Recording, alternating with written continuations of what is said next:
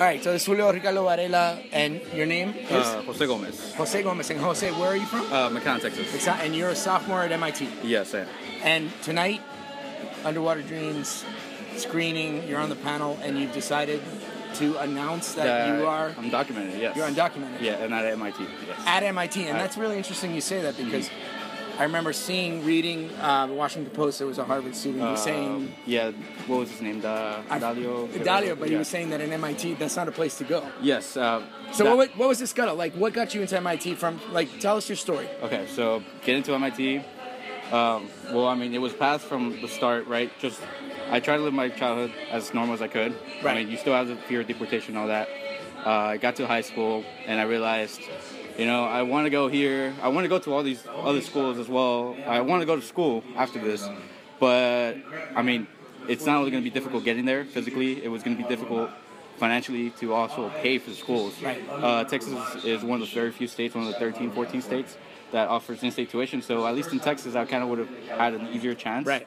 But I wanted to go at MIT, and I found out that MIT offered uh, full financial aid, uh, need-based, not uh, scholarship-based. And this is from uh, federal funds or from their own uh, alumni donations. And so uh, I decided I wanted to apply at MIT either way. Uh, I was going to figure out how to get there later. Right. I was just going to apply and see what happens. Uh, that was my plan at the beginning. And then DACA happened in the summer before my senior year. So I was like, okay, I can get there now. So, so you, to. so you were like considering it. You had, but then when DACA happened, so that happened what three, four years ago? That happened in 2012. That's happened in 2012. Yes. So then you saw DACA and you applied for it. I, I saw. I was gonna apply either way, Right. but I saw DACA and I was like, okay, now there's a chance for me getting there, even if I want to Right. actually go there. And so uh, I applied, and I, I I don't know what bubble I checked because there. I think there's only like two bubbles, international or domestic. I believe I checked international just be, to follow the guidelines Yeah, of where yeah. I was born, and I applied. I got in. I was like, okay, great. This is great. I can I can make it now. And I told my parents, if I get in, I'm just gonna go. So you got into MIT. I mean, stop Yeah. there for a second, man. Like MIT. This is not like you know. What were your parents thinking? Like, where you where you from? Like, what- I Um, mean, with my parents were thinking, what's MIT? right. So, I mean, I'm just curious because like it's like it's you know this is the premier Yeah, you know college en- or engineering yeah. Mm-hmm. like technology high you know in the world. And what when you when you got the letter after everything that you went yeah. through. So I clicked. I clicked to check uh, the decision. Yeah. And I had gotten in. And I was just like, okay. I didn't have that in plans. I had already signed like dorm contracts and everything with Yeah. uh, UT Austin. Yeah. I was gonna go to UT Austin. I was like, okay. But then once I got in here, I was like, okay, I gotta make a 180, make plans for coming to right. to MIT. And uh, first, I had to explain to my parents how big of a deal it was for me to actually come here. Um, they didn't know exactly what it meant to be MIT, but after a while, they caught on. Yeah. And they realized how big it was, and they were just really proud. I mean, Yeah, I'm just like sure. any like any parents I'm would be. sure. And but they're still a little scared because I mean, I was gonna be 18, go on my own for the first time out of uh, the re- the South Texas region. Right, right. I can't get out of the South Texas region. Right. And so, for the first time, I was able to leave, and I was gonna leave 2,000 miles away. It was it was a big shocker to them, but I had to do it because this is what I wanted to do. This is gonna be the best place for me to get the education I wanted to get. Right. I mean, the aerostr- aerospace department here is amazing. Just celebrated 100 years. So what are you what are you studying? Uh, aerospace engineering. Aerospace. engineering. Yes. Great. Which is slightly kind of awkward being undocumented, being in aerospace because. So a lot of the p- places I would like to work, and a lot of the places that uh, hire space engineers are military contracts, def- uh, defense sector, Right. NASA, uh, Right. space, ag- uh, sorry, uh, government agencies, Right. and pretty much, and also just even private uh, private companies, they fall under ITAR, which Yeah. pretty much says you can't give certain material or you, certain material can be exposed to international uh, citizens. So you got some issues there, but So that's okay. But you're here. but I'm You're here. Yeah, so but- let's get but- back to your story. So you're here. Yeah, I'm here, but then the next thing is what happens in 17. I mean, I graduated 17. Right. Obama's out 16. What happens after that? Right. I'm gonna be again fully undocumented. I mean, now I'll finish with my aerospace engineering degree, but I mean, what's that gonna mean for me? Right. They're just gonna leave me completely. So back in so what one. did so what got you to here? Like how did you just tell me like you got to MIT, you didn't say you were, you know, you, you got in, you Mm-hmm. Know, and now you you're part of Dream Dream MIT. Dream right? It, So yeah. DreaMIT? That's what it's Yeah, that's dream what it's it. called. We're, All right. calling it dream it. DreaMIT. I like it. yeah.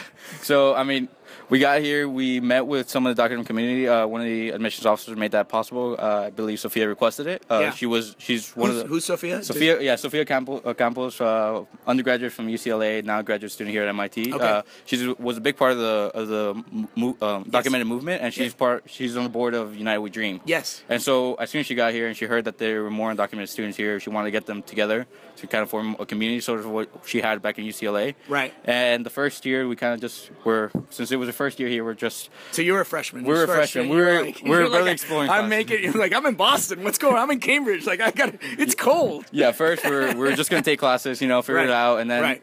later on we decided, you know, we need to form a group, you know, because there's certain things that we need help with that aren't available. There's questions that we need answered, and there's no one that and Yeah. in administration or anywhere in MIT that we can go to Right. for that help and just a support because like undocumented students know. I mean, it's hard for other people who or don't know what it means to be undocumented and and then who aren't undocumented to know exactly what it means to be Right. undocumented.